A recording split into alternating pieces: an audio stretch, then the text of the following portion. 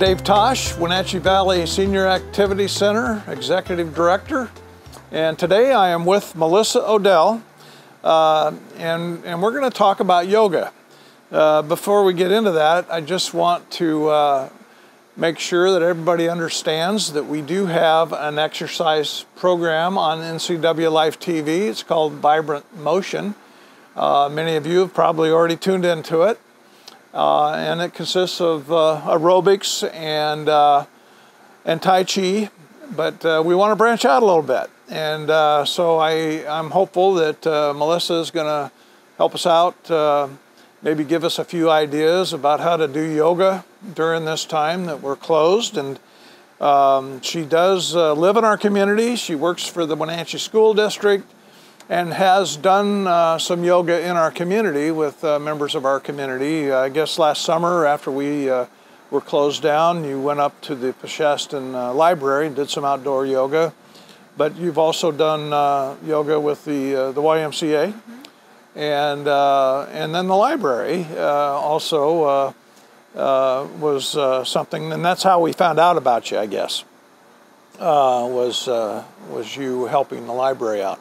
So, if you could, uh, Melissa, tell us a little bit about your background with uh, yoga, how you became certified, and uh, and what you're doing right now in your own words. Sure. Um, so, I was lucky enough to take a introductory yoga class at a local gym many years ago, which spurred my interest in getting my 200 hour yoga teacher training. So I moved to Portland and I did a year long program there. Um, and then recently I did my 300 hour um, yoga teacher training, and which um, helped me to get a little bit more knowledge in yoga. And then uh, I was teaching at the YMCA for a year, an all levels class, more of a gentle yoga class at nighttime. And then also at Peshastin Library, we did an outside, which was also an all levels yoga class once a month. So it's really great for community members who maybe have never experienced yoga to be able to get a little bit of practice in. And then, um, due to COVID, um, all that teaching in person kind of stopped. So I've started my own YouTube channel with different forms of yoga. Um, there's chair yoga, there's also um, short yoga stints if you need a little bit of energy or a little break in your day. So, uh, the senior center, uh, before we closed, uh, had uh, a couple yoga programs offered. We had uh, um, a Tuesday evening yoga uh, with a volunteer that led that group, and then Marjorie McIntosh was our leader of our daytime yoga, and they met several several days a week. And of course, right now we can't do any of that. And I know that yoga has become a pretty popular, important exercise regimen. Uh, can you tell us some of the benefits that uh, seniors would get out of uh, participating in yoga? I think, especially right now, since we are at home and maybe our stress levels are a little bit high, I think yoga is a really great place to incorporate body awareness, learning how to connect with your breath and yoga is really great for increasing focus and kind of allowing yourself to relax, um, as well as working on balance and working on that building up your core. Maybe if you're sedentary and not moving as much, yoga is a really great start to kind of s- slowly begin to build flexibility and strength with your body. Well, I do know again that uh, yoga became very popular here at the Senior Center just by looking at the numbers of people participating.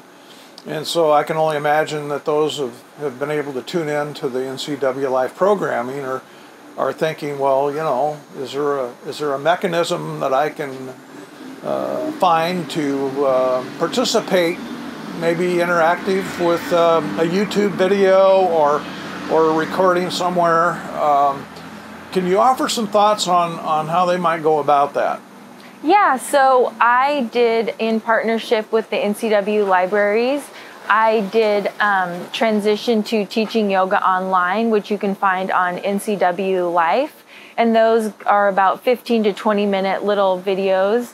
And feel free to do five minutes or 10 minutes or all of the video. That's a great place to start.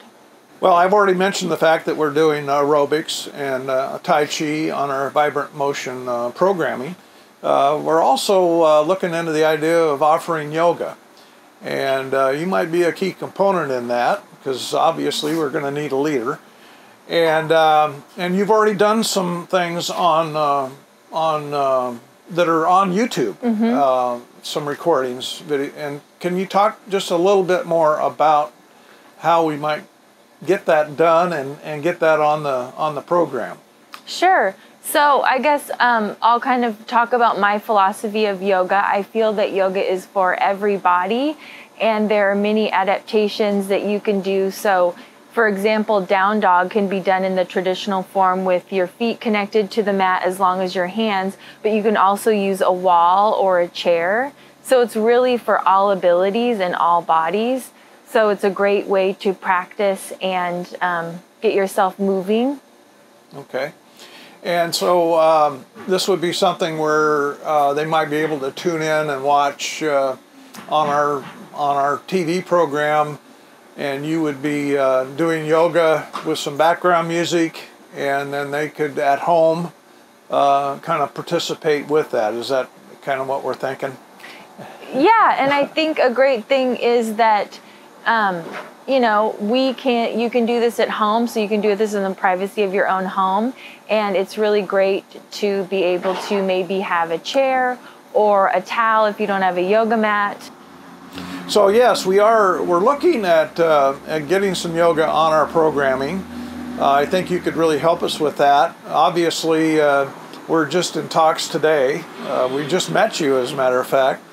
But um, I think you're someone that could uh, could do a great job for us. You're certified. Uh, you know yoga pretty well. You've already done some yoga in our community with others, and so uh, we're really looking forward to a, a good work, working relationship. And uh, and maybe we'll get this on the air here sometime uh, in the spring. I would hope, and uh, and people could participate at home. We're also looking into the idea of, of having a small group uh, of seniors that uh, you work with, uh, you know, on the video, uh, and, and that might that might work out as well. So, any last thoughts that you have uh, before we uh, we conclude the video?